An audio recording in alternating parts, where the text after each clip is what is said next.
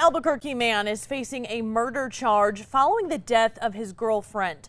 According to a criminal complaint, BCSO deputies were sent to an area on Atrisco Vista in northwest Albuquerque.